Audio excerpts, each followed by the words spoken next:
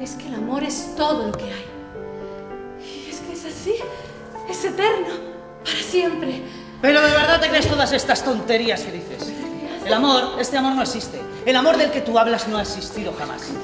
Es un invento del capitalismo para dejarnos sumergidos en un eterno estado de búsqueda, esperanza, en definitiva, de frustración. Que el amor siempre es positivo, que hay que confiar, que no es dependencia, que el amor es lo mejor. Bueno, sí, Veo que lo sigues teniendo muy, muy claro. Solo sexo.